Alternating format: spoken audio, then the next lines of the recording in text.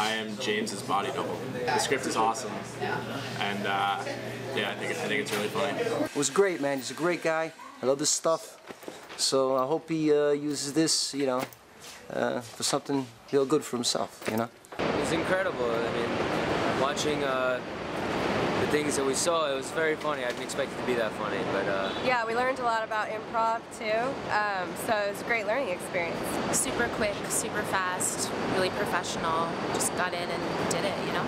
and uh, a lot of fun. Uh, we were surprised. I was surprised by it. I wasn't expecting that, and uh, the ending has a nice little happy ending, I guess you could Little say. button, you'd say.